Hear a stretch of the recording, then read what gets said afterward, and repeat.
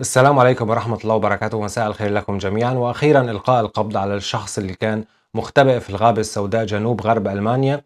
نحن قلنا أنه الموضوع هو مسألة وقت لبين ما يتم إلقاء القبض عليه. فعلا الآن الوحدات الخاصة الألمانية قامت بإلقاء القبض عليه وبناء عليه كان في الآن مؤتمر صحفي حضرته أنا بشكل كامل لايف كان النقل تحدثوا فيه عن طريقة إلقاء القبض عليه. كان موجود في الغابة هو وجالس وحاطط قدامه المسدسات الأربعة اللي كان آه، أخذها من الشرطة سابقا.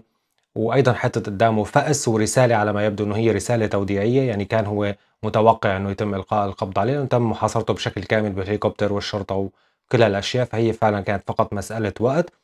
وأثناء عملية القاء القبض عليه الوحدات الخاصة أحد الأشخاص منهم أصيب إصابة خفيفة وأيضا الشخص كمان نفسه آه، أصيب إصابة خفيفة. عم بيقول نحن يعني أول شيء حاولنا نحكي معه ما كنا حابين نعمل حمام دم.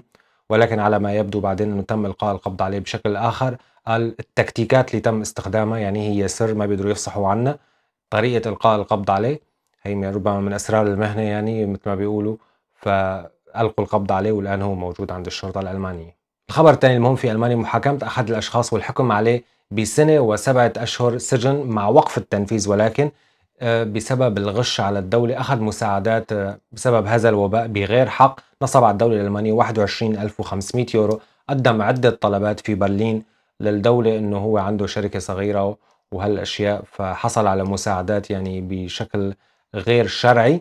بعض الناس غشت قدمت للدولة طلبات غير حقيقية وحاولت تنصب على الدولة وأخذت فلوس لأنه الدولة قالت رح نعمل الموضوع بشكل غير معقد وسريع. كل إنسان بيقدم طلب ممكن يحصل بشكل سريع على مساعدة. أنا شخصيا لي صديق يعني حصل بعد أسبوع تقريبا قدم طلب على مساعدة 9000 يورو. فكتير من الناس يعني قدموا طلبات حصلوا على المساعدات بعضهم قام بالغش وهذا أحد الأشخاص غش سبع مرات عم بيقولوا أخذ 21500 يورو فتم الحكم عليه الآن سنة وسبعة أشهر بالسجن ولكن مع وقف التنفيذ يعني إذا بيعمل أي خطأ بيدخل بينفذ عقوبة السجن بشكل كامل. الإعلام الألماني عم بيتحدث كمان عن نقطة جديدة ازداد فيها عدد الحالات بعد عرس كبير عم بيقولوا في مقاطعة نورد راين فستفال تحديدا Kreis ميتمان بين لانجنفيلد ومونهايم ارتفعت عدد الإصابات آه، ليوم الجمعة إلى 46 شخص عم بيتم ربط هذا الموضوع بعرس كبير يعني تم على ما يبدو صار في اختلاط بين الناس وعدم المحافظة على القواعد المعمول فيها. وبناء عليه ارتفعت فيها عدد الحالات بشكل كبير. وبشكل عام يعني في ال Kreis صار في 136 حالة وعدد سكان ال Kreis هو 485 ألف وهذا ال Kreis يقع بين ديسلدورف وفوباتال Kreis ميتمان.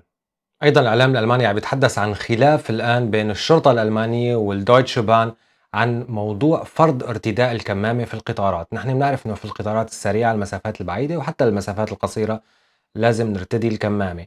هذا موضوع الكمامة الآن.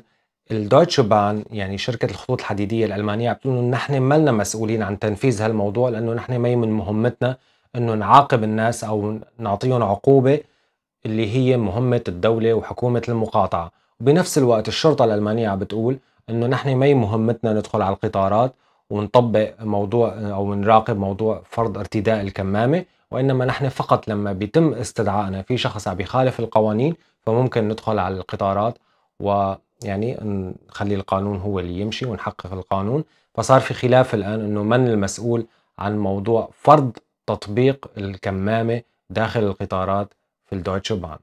فالسؤال الآن هو مسؤولية مين بالضبط أو مين اللي راح ينظم هالعملية بشكل أوسع؟ على ما يبدو إنه في بعض الناس ما عم تلتزم والسؤال إنه لما ما بيلتزموا مين المفروض يفرض الالتزام على هذا الشخص؟ فانتم شو حسب رأيكم؟ هل الدويتشه بان نفسها هي المفروض تراقب هالعملية وتطبقها أم هي مهمة الشرطة الألمانية ولازم هن يتدخلوا بالقطارات ويفحصوا ويعني يشوفوا إذا بيتم تطبيق هذا القانون وارتداء الكمامة؟ هاي كانت أهم الأنباء في ألمانيا لهذا المساء. أتمنى أكون أفدتكم خلال المعلومات. تحياتي لكم جميعا. والسلام عليكم ورحمة الله وبركاته.